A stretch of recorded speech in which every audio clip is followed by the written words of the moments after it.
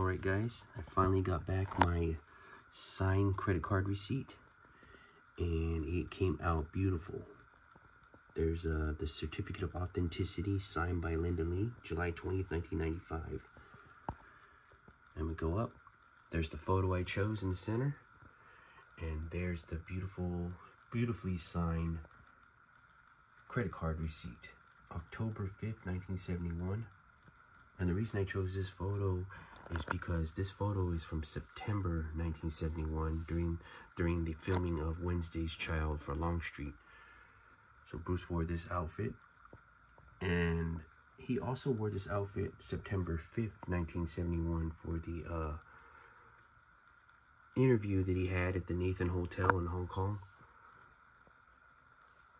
However, his sideburns in that interview are a lot pointy and during um, Longstreet, Wednesday's Child, when he filmed uh, that episode and he wore these clothes, he had the pointy sideburns part of the episode. And then later on in the episode, his sideburns were cut like this to a square.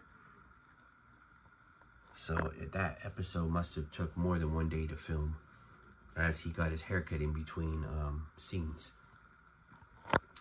So yeah, that's why I chose this uh, photo as it's like the same time period as the uh, signed credit card receipt. So like a few weeks later, he would sign this. And what's cool about this is I noticed it's it's got fold lines, creases in it from being folded by Bruce. And Bruce touched this um, himself, put this in his wallet and brought it home.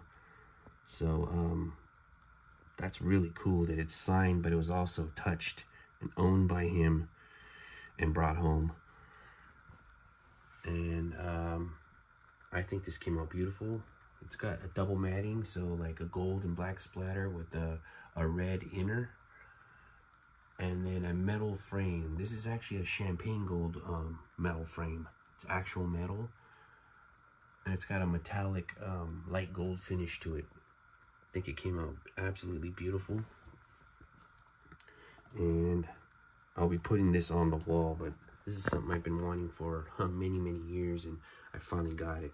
Thanks to Jeff Goodwin for hooking me up with this for a good price. And then the framing just is beautiful. And that's it for this review. I just thought I would show an update on this nicely framed uh, credit card receipt. Thank you guys for watching.